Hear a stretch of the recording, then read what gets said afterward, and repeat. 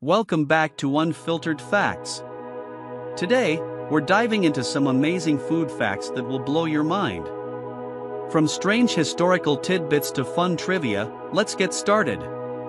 Did you know the world's most expensive pizza costs over $12,000? It's called the Louis XIII pizza and comes topped with lobster, caviar, and edible gold. Honey is the only food that never goes bad. Archaeologists have found pots of honey in ancient tombs that are over 3,000 years old and still perfectly edible. Need a morning boost?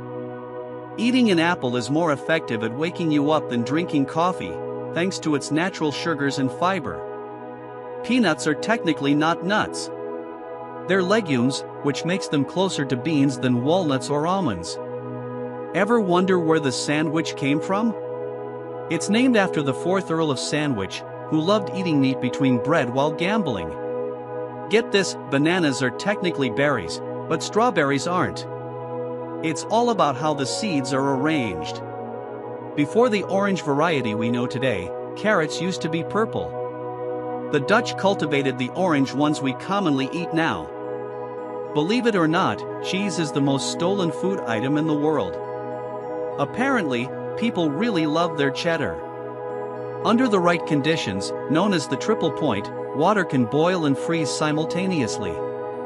It's a fun science fact with a food twist. In ancient times, the Mayans and Aztecs used cacao beans, the main ingredient in chocolate, as currency. Imagine paying for your groceries with chocolate.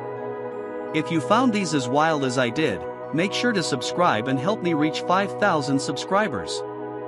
Stay curious and stay unfiltered.